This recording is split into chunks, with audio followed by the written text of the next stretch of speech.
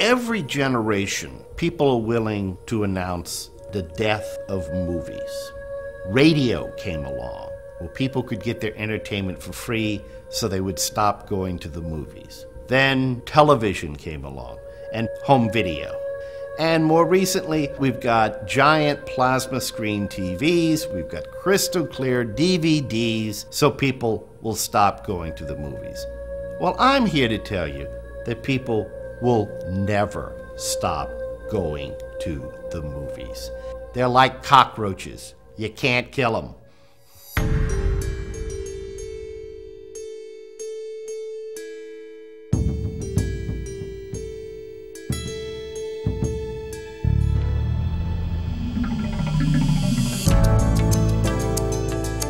Mr. Hoblitzelle was not only the, the premier exhibitor in Texas, but he was a, powerful figure in, the nation's uh, exhibition industry.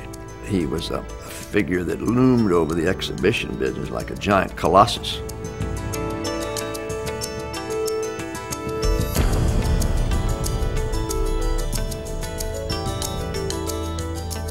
Downtown, Elm Street was looked like Broadway all the way down.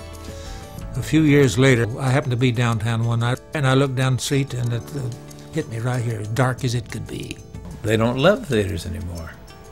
They go when they see a good movie that they want to see, but they won't think about the theater at all.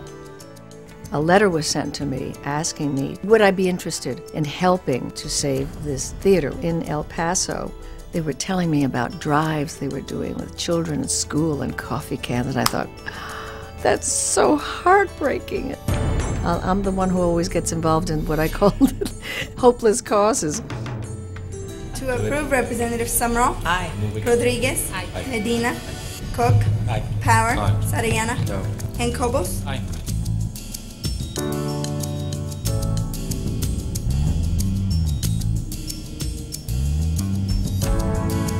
You have to respect these buildings just as you would your parents and your grandparents.